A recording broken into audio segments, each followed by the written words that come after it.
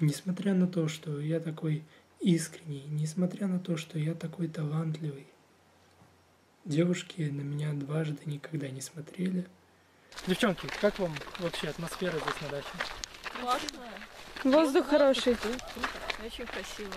Ты же понимаешь, что когда ты все снимаешь на камеру, то ты портишь атмосферу. Люди не наслаждаются отдыхом. У нас же сегодня праздник.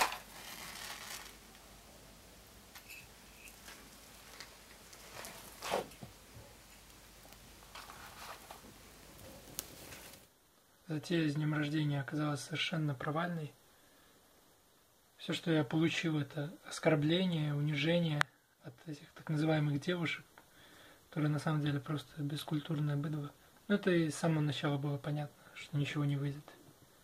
Можно было вообще ничего не делать, просто сидеть, и я бы лучше провел время.